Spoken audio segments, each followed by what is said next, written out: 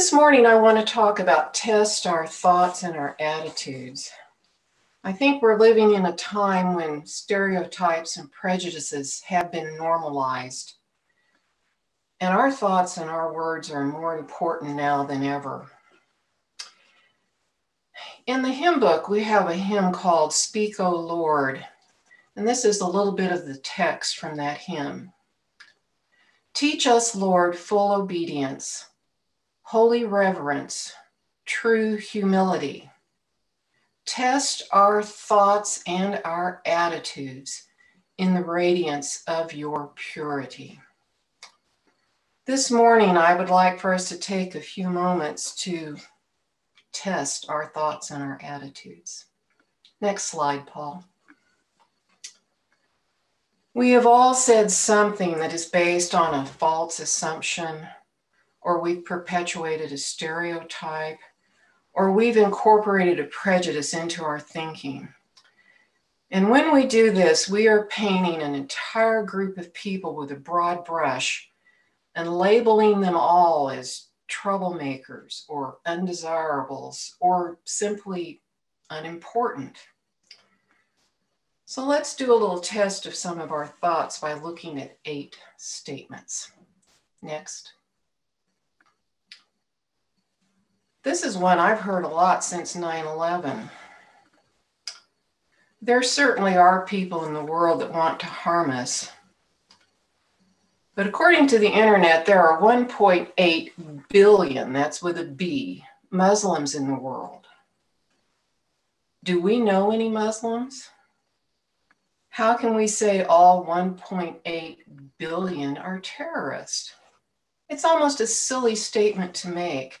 Statements like this allow us to demonize people we don't even know. I don't think this will stand up under the radiance of God's purity. Next. Ah, those people out in rural America are just uninformed rednecks. This is the classic prejudice between city people and country people. Phrases like those people serve to distance us from some group out there. And once we isolate ourselves from those people, the people we have isolated are at the mercy of our doubts and our fears. Next. Rich people are self centered snobs. I've been hearing this. Isn't it interesting that rich people are always some group that is richer than we are? Certainly, there are self centered people, but I know some rich people that are not self centered. They're very generous. Jay and Cherry Newcomb were the main donors behind the renovation and expansion of the student union at Graceland University. And I remember Cherry telling me that while she was growing up, her family lived in a tent for a while. She has never forgotten that. And she and Jay want to be a blessing to others. Next. Ooh, poor people are just lazy. Well, this is another really broad, sweeping statement. It implies that there's just one reason for being poor and it has nothing to do with us. And that makes it okay for us to ignore people. We just need to be careful with what we think and what we say, because a lot of times these statements are really off the mark. Next.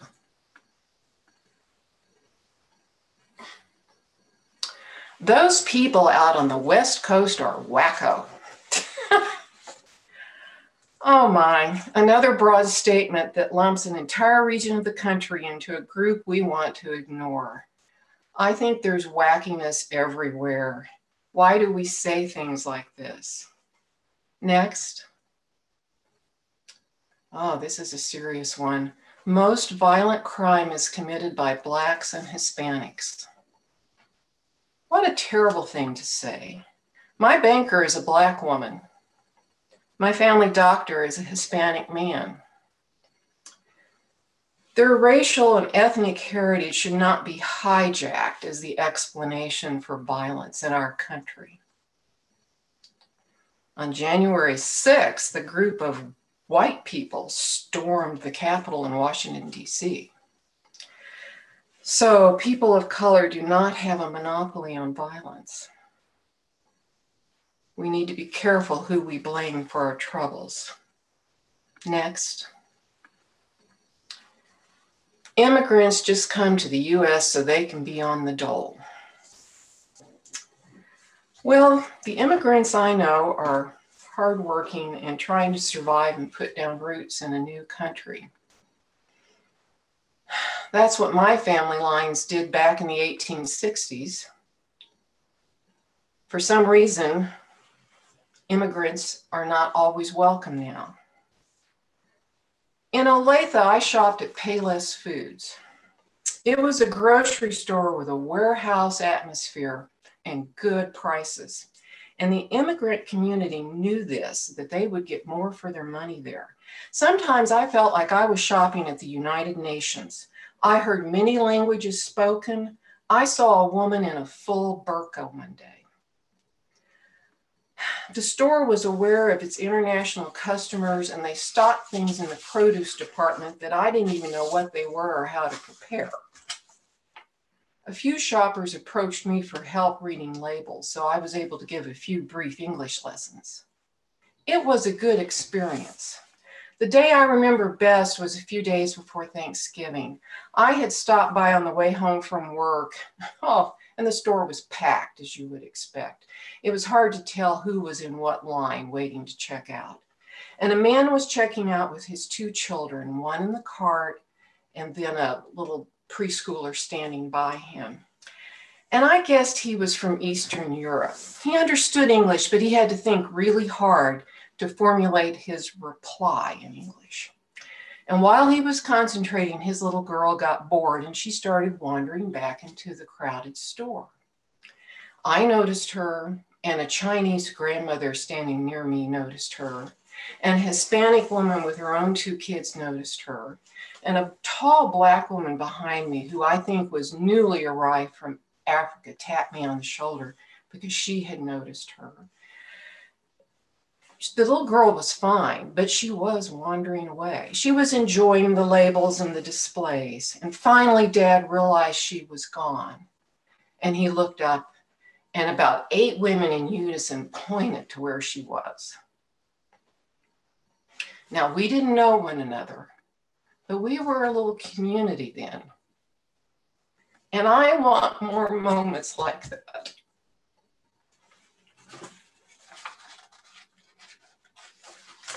Next, please. Those Indians act like they are our equals. Well, the Indians were here first. Why shouldn't they be? I grew up in Tulsa. And California, Arizona, and Oklahoma have the highest population of Native Americans in the United States. From my school days, I remember Charles Chibitty, he was Comanche. And Jay Echo Hawk, he was Pawnee. And Bryce Wildcat, I think he was Sioux. I'm not sure about that. I knew Charles the best. My maiden name was Chatburn, and when Charles was in my class and we were in alphabetical order, Charles Chibitty was always behind me. He was one of the good guys, he really was. It wasn't until the 1990s that I learned that Charles' dad, Charles Sr., had been a code talker during the war. Now, most of you probably know that the Navajo were code talkers in the Pacific theater, but in the European theater, they used Comanche. In an interview in the 1990s, Charles Sr. pointed out the irony of his life. He said, it's strange, but growing up as a child, I was forbidden to speak my native language at school. Later, my country asked me to speak Comanche. My language helped win the war. I hope the soldiers around him and his unit realized that Charles Chibitty Sr. was their equal. Unfortunately, the United States didn't acknowledge the contribution of the Comanche code talkers until 1999, and Charles Sr. was the only one left by that time. Next slide. What are our thoughts and words revealing about us? What are we teaching others when through suspicion or fear we label people as wacko or violent or lazy or uppity? In the musical South Pacific, there is a song. You've got to be taught to hate and fear. You've got to be taught from year to year. It's got to be drummed in your dear little ear. You've got to be carefully taught. Howard Thurman, a black minister and theologian, said Jesus rejected hatred not because he lacked strength, he rejected hatred because he knew that hatred brings death to your spirit and death to your community.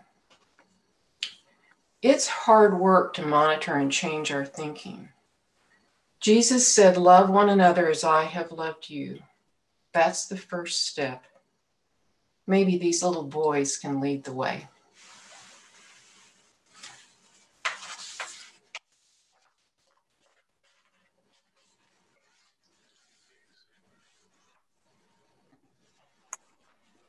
Thank you, Sharon. I am moving to a, a different tact and my word for 2021 has been kind. It's the litmus test for my words and actions. Is it kind? I love the children's choir this morning. Ron had put these words out on the top of a mountain the other day, and all week long it had been circling in my brain. Let there be peace on earth. Let it begin with me. This year, we have lots of alone time. Even chairlift rides are just the two of us. Instead of visiting with a, cha- a stranger sharing the chair, we have had quiet t- times, allowing more time for deep reflection. When Paul asked that I speak on the topic, here I am, I thought my best shot is to show up with kindness. That's the way I can let peace begin with me. Philippians 2 1 tells us, Your life in Christ makes you strong, and his love comforts you. You have fellowship with the Spirit, and you have kindness and compassion for one another. We have been given the gifts of kindness and compassion by our Heavenly Father. Certainly, this is the time to draw on those gifts. Do we really live the worth of all persons? Are we willing to show up when others are marginalized, treated cruelly, or without equality? We are called to love God and to love our neighbor as ourselves. For me, it's as simple as showing up. I can love my neighbor by showing up.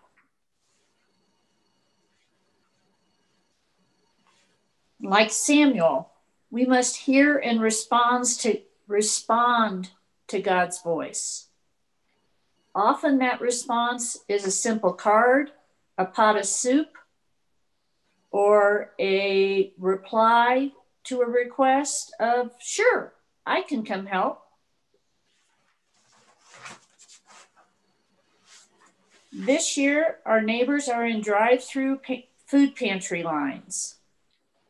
You need no you need go no further than 87th and Antioch every Tuesday to see the cars lined up for hours. Our neighbors are unemployed through no fault of their own and struggling to feed their families. Can we show up to load food into the trunks of those cars?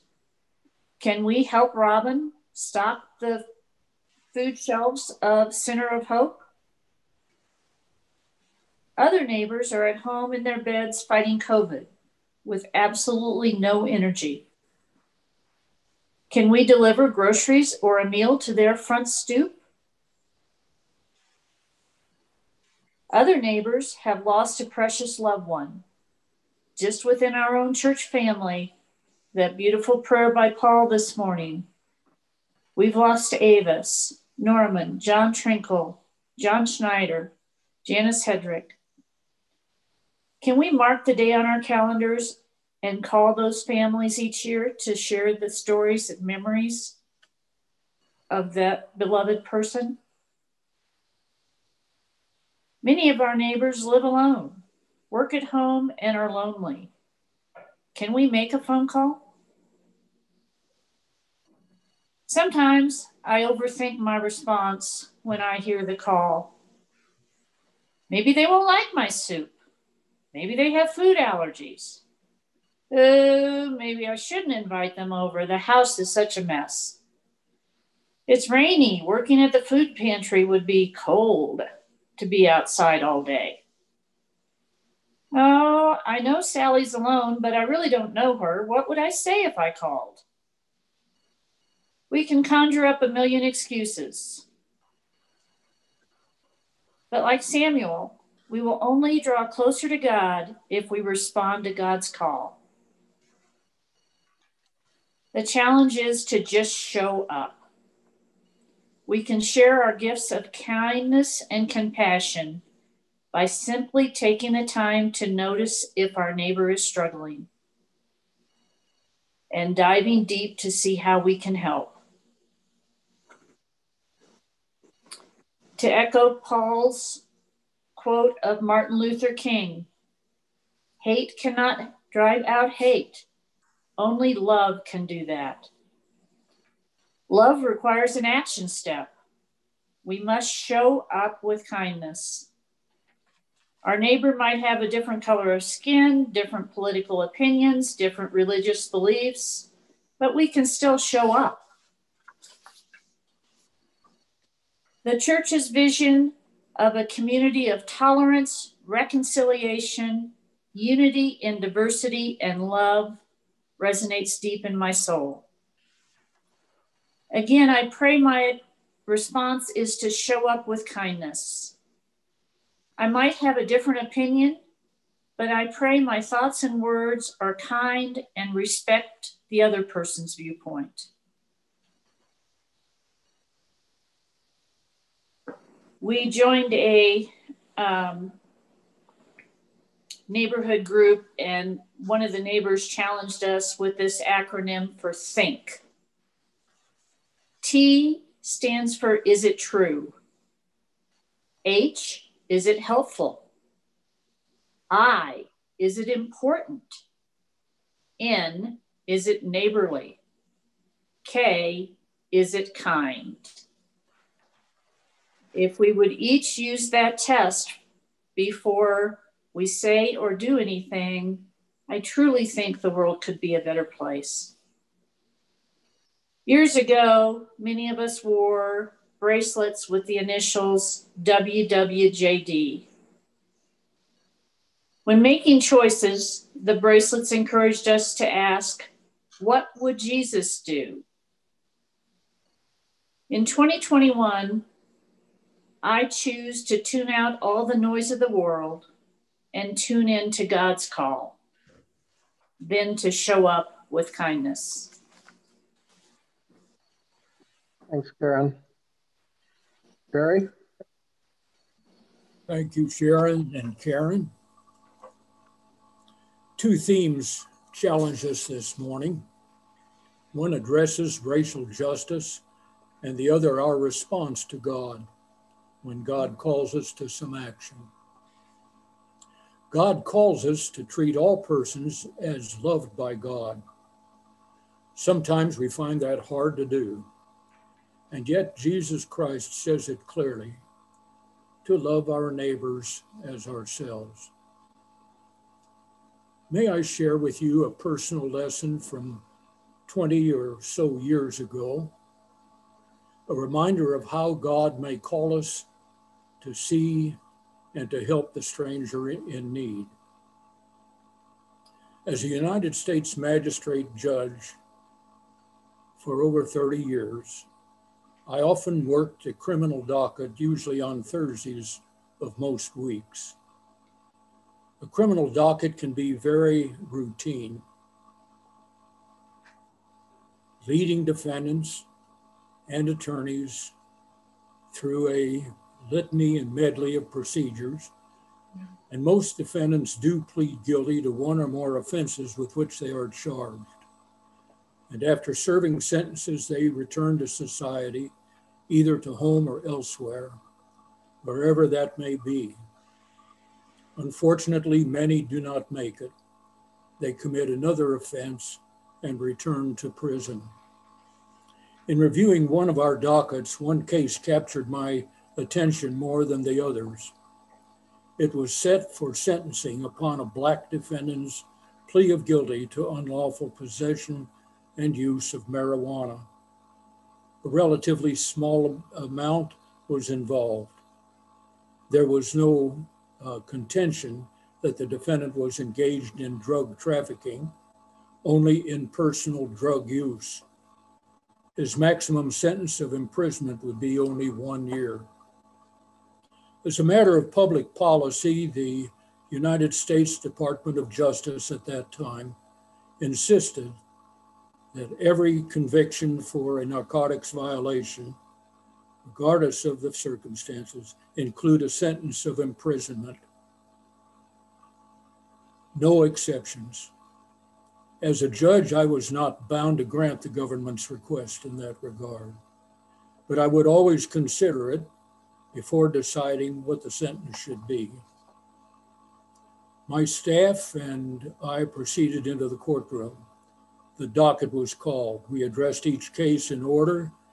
We finally came to the end of the docket and sentencing upon the uh, marijuana conviction. Consistent with its policy, the U.S. Attorney requested imprisonment. The defense counsel asked uh, that any sentence of imprisonment be suspended and that the defendant instead be granted probation for one year. His attorney then turned to the face of the gallery. He motioned to a young black woman with uh, two uh, small boys to stand, which they did. They were the defendant's wife and sons. The boys were perhaps four to seven years of age. Uh, the three of them were poorly dressed, but uh, clean. Proceeding with the hearing, I pronounced the sentence of probation for one year and conditions that uh, and conditions that the defendant must refrain from any use or possession of the drugs and that he be uh, required to uh, retain, obtain, and retain employment. The court's probation staff would assist him.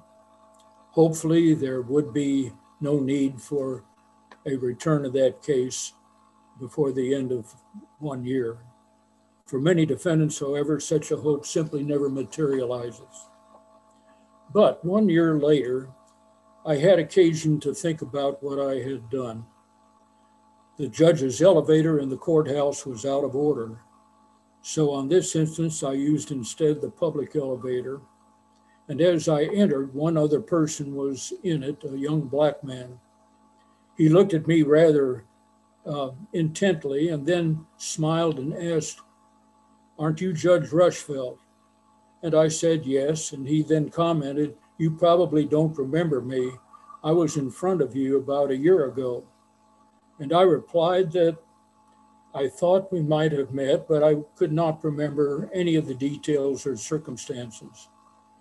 He then smiled and recounted the criminal sentencing a year earlier. and I then remembered. He told me his probation officer had helped him get his job back. He was free from drug use. He had no other violations of the law. He and his family were back together. He and his wife and two young sons. And he was now on his way to a final meeting with his probation officer. This was the last day of his year long probation. And he added, Thank you for having given me a chance, for having given me a sentence of probation and not time or imprisonment. Neither his face nor black color had created a problem. We shook hands. I applauded him for what he had done, both for himself and his family, and for the world, and we parted. Not simply as defendant and judge, but as good friends for the moment, as friends and fellow creatures of God and our Lord Jesus Christ. I was glad that the judge's elevator had been out of order that day. From time to time, I have thought about perhaps unlikely, out of the ordinary judicial adventure with one, a young black man, two, with a marijuana habit, but not yet uh, hooked on drugs, three, for a caring wife and two young sons, four for competent attorneys, that is, both the prosecutor and defense counsel, five for dedicated and conscientious probation staff, and six for an employer who was willing to help. As far as I know, I never saw this man or his family again. But I am grateful to God who blessed each one of us in a venture to save, seek rehabilitation for a man otherwise headed for a drug habit.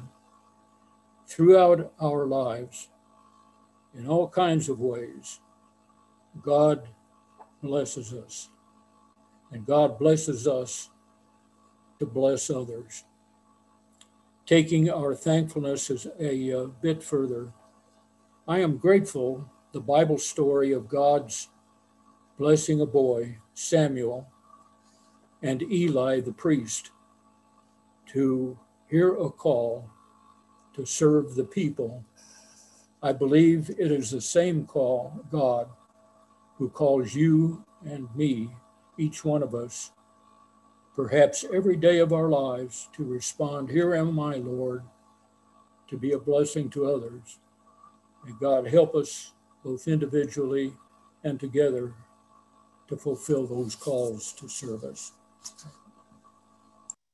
Thank you, Sharon and Caryn and Jerry, for uh, your witness this morning that has uh, strengthened us and give us given us cause to think.